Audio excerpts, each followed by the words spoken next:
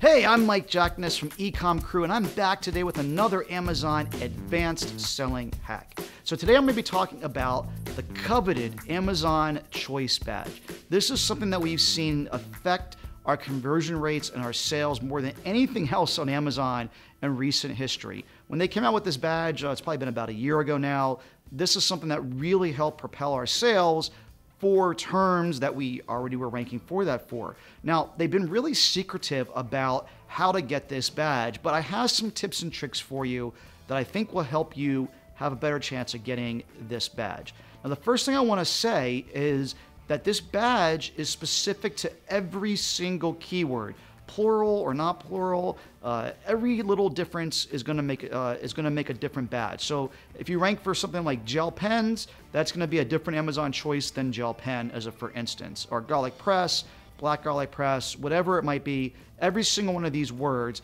has an Amazon choice badge. What we've actually found is there's a couple really important components to being able to get this badge, and we've learned this over the last many months of doing testing.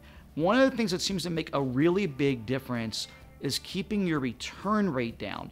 Now, this is something that is hard to directly affect, but you can indirectly affect it by having a really high quality product, by putting an insert in the box and trying to catch returns before they come back to Amazon. So we'll put in something in there. If you have any problems, please contact us about a return or an exchange. And we've been able to get a couple out of, you know, 2%, 3% uh, out of 100 return rate to drop a little bit, and then they've been able to get that badge over time because our return rate has dropped. Now, the other thing is the review rate. So, if you have a higher than average review rate, that seems to help get the Amazon Choice Badge. But specifically, getting uh, a higher percentage of four or five star reviews than your competitors. So, this really has driven us lately to try to develop the highest quality products possible to really make a better experience, to make a better garlic press, to make a better gel pen, whatever it might be, than our competitors. So, this is something we talk about in a lot of our other courses and videos is not making just Me Too products, but making things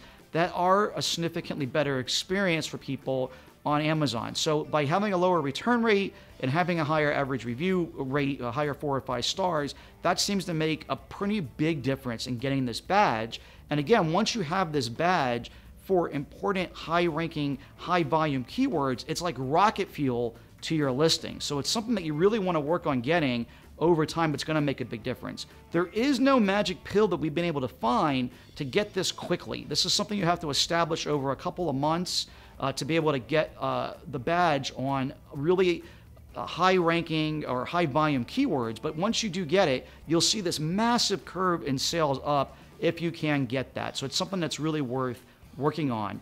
I find that doing stuff like this is way more effective than going out and finding a new product. You know, oftentimes people are rushing to find new products all the time, but if you can optimize the products that you do have by doing something like working on getting this Amazon Choice badge, you'll find that it's a lot more effective use of your time, your capital, and everything else because it's a lot easier to send a purchase order for a product you already have than to go develop a brand new one. So I hope you guys found this advanced selling tip helpful. Until the next one, guys, happy selling, and we'll talk to you soon.